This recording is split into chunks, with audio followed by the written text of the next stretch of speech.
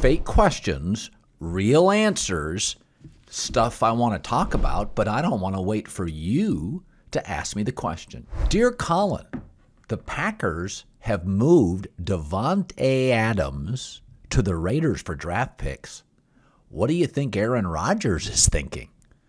Well, good question, and I don't know. As I've said many times, I never try to get into Aaron Rodgers' head. It's murky. But I'll say this. When Dak Prescott signed that contract, an A contract for a B plus quarterback, you will pay a price. You can kick that shit down the road. You'll pay a price. You're seeing it now. Cedric Wilson, gone. Amari Cooper, gone. Right tackle La'el Collins, gone. Aaron Rodgers, oh, he got all that guaranteed money. He got 50 million a year. He's still a 13.5% cap hit. Don't win Super Bowls in this league if your quarterback's over a 12% cap hit unless you're Tom Brady. And Aaron's not Tom Brady. You pay a quarterback 50 million regardless of all the guarantees. This everything in a salary cap league, even with star quarterbacks, is a value proposition. If you want to be the highest paid blank in the National Football League, eventually your franchise will have to make cuts. Aaron has always been about Aaron. He's not about winning. He'd like to win. It's more fun to win. He has always put Aaron and money ahead of everything else. Dear Colin, Baker Mayfield, you sort of called it, didn't you? I don't like to brag, but yeah, Colin, you nailed it. Tell us how you knew. Well, I figure if you're talked about as a first or second round talent as a quarterback, that I'm not going to argue that with most GMs. So, what I really look for is maturity. And I think there are certain jobs that demand that 23 and 24 year olds are as mature as 42 or 43 year olds, like a young surgeon or a young pilot or a young quarterback. Baker Mayfield, if you looked at his history, was going to struggle with several of the key asks as an NFL quarterback. Could he be the face of the franchise? Could he show emotional discipline? It wasn't hard. He grabbed his junk multiple times before his first NFL start. During pregame, he whizzed a football by an opponent's head. It's not like we didn't have video evidence. And then you were going to make him rich and he was going to line it all up right. Baker and Johnny Manziel. You kind of got that cocky Texas attitude, both very talented, neither with the emotional maturity to be a franchise quarterback in their early 20s. I think Baker's talented. But even now, at 27 years old, too much ego, not enough humility. That, not just his talent, has always doomed his success. Pilots, surgeons, quarterbacks. It's unfair, but I need you at 23 years old to be as mature as a 43 year old. Dear Colin, why did the Rams sign Allen Robinson, a really good receiver, when they already have such a loaded receiving corps? Well, let's be honest, sometimes keep away is an important game. The Seahawks, Niners, and Arizona could all use a number two receiver. Is that 10 to 15 to 20% why they went and got really talented Allen Robinson? Also, I talked to Les Snead. I was on a walk two years ago. We talked about this. He said perimeter talent was getting harder and harder to find on the defensive side. He told me a story about how it's hard to get even a second elite corner, but the explosion of wide receiver talent out of college allows you to have three or four really high end receivers. So this is a mismatch signing for the Rams. Cooper Kupp, Allen Robinson, Robert Woods, OBJ, Van Jefferson. He's taking advantage of a cultural reality. There is more wide receiver talent than ever. and less cornerback talent than ever. He's simply creating matchup issues. He talked to me about this fairly privately several years ago, but now they've won a Super Bowl, I feel I can tell you the story. Dear Colin, I want to ask you a non football question. Why haven't you discussed college basketball much? Don't you realize it's March Madness? Well, I did tell you this week in a podcast beware of the Big Ten. They will be over selected. And sure enough, Iowa's already been bounced.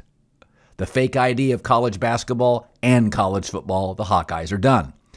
College basketball has become horse racing in tennis shoes. It's not a sport, it's a bet. The reality is, Coach K and Roy Williams could have stuck around. Why? The sport is simply too transactional. The one and done culture is killing it. Ask yourself if you worked at a company and every year to two years there was a 100% turnover with coworkers, would it be a good company? Even Hollywood realized this. The movie industry, about 10 years ago, started making more and more sequels. Why? Because audiences want familiarity, familiar themes, plots, actors, and characters. College basketball right now is a really, really bad business. It's a bet more than it is a sport. And at that, it's a three week sport. College football is a five month sport. That's the difference. I'm not anti college sports, I'm anti college basketball. It's a lousy business. It's essentially a cheap roadside motel. Nobody really lives there, everybody just stays the night, and the only channels you can get are truTV and TBS. Okay, our friends at Manscaped, the global leader in below the waist hygiene, are turning men's shower dreams into your favorite routine with the all new Ultra Premium Collection. A lot here. All in one skin and hair care bundle, two in one shampoo and conditioner, the body wash with aloe vera they have the Manscaped aluminum free deodorant. I use that. Absolutely love it. They have the Manscaped lip balm. I use that daily if you have dry skin or tattoos. Also, the Lawnmower 4.0 waterproof. So, electric trimmer, go to those private parts, get it all worked out. Manscaped.com, code Colin, free shipping, 20% off. Manscaped.com. The code is C O L I N. I love the deodorant, the lip balm, two in one shampoo and conditioner. All money, baby. Dear Colin, once again this week, Los Angeles goes out and signs several stars. The Dodgers just went out and signed perennial all star Freddie Freeman. The Rams go out and sign Allen Robinson. What do you make of these massive star signings by Los Angeles? Well, think right now, if you will, about New York. That's the epicenter, right, in America. If I said, give me your top five sports stars Kevin Durant, Jacob DeGrom, Aaron Judge, Max Scherzer, Kyrie Irving. That's it. Think about Los Angeles. Just on the Rams, Matt Stafford, Aaron Donald, OBJ. Jalen Ramsey, Cooper Kupp. On the Chargers, Justin Herbert, Khalil Mack, Joey Bosa. On the Lakers, LeBron, AD. Say what you want about his game, Westbrook. Clippers, Paul George, Kawhi Leonard. Dodgers, Mookie Betts, Cody Bellinger, Freddie Freeman, Clayton Kershaw. Angels, Mike Trout, Shohei Ohtani. Why? Two reasons. About 10 years ago, Silicon Valley, based in California, started creating a reality with the California economy. It started pulling away from the two other biggest domestic economies, Texas and New York State. Literally, the YouTubes and the Googles are now buying shopping malls in California, making them headquarters.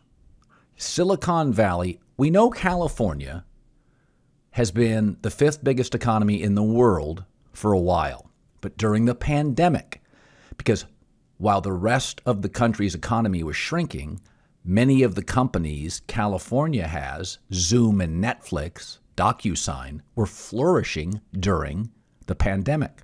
the lock in. So the economy created a $75 billion surplus for California during the pandemic. And a recent study shows that seven of the 10 richest cities in the country are in California. And the economy in the last year has pulled away even further from Texas and New York State. What does this mean? It means specifically Los Angeles, the LA owners are richer, their arenas are worth more, their land is worth more, their businesses are worth more, and they're cash rich. Remember, the wealth of an owner matters more, especially with guaranteed signings. The Rams, for instance, have a very generous owner, Stan Kroenke, and a very wealthy owner. I think he's first or second richest owner in the NFL. He's got a lot of cash. That cash is not equal team to team.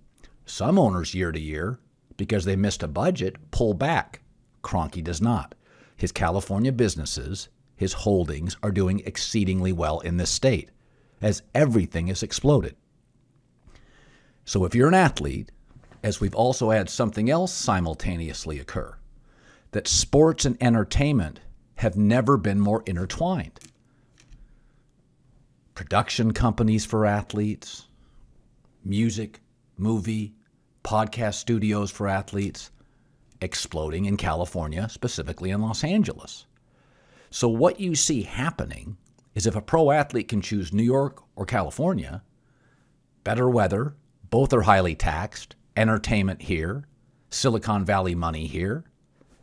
California, simply the owners and the teams right now are cash rich and will throw the biggest money at the best players. Dear Colin, you work for Fox. What do you think of Joe Buck leaving and going to ESPN? Well, I'm one of the few fortunate sportscasters in America that's had the privilege to work for both. They have different sensibilities, clearly two different cultures. ESPN is a massive, too big in my opinion, business. Fox feels more like family. Joe had been part of the family for what, 25 years? He wanted something new. The reality is, he could go to ESPN, get a bit of a raise, actually, a big raise, and not have to do baseball. As you age, what do they say? Work smarter, not harder? Maybe Joe Buck just wanted to do football, spend more time with his kids. Joe's got a young family. I never hold mobility against anybody. I like Joe. I know Joe. He certainly put his time in at Fox. I hold no grudges. I don't think the company does. Thankfully, we have an incredibly deep bench, and I think he's going to have a great run off in the sunset with ESPN. He's been all class to me. I wish him well.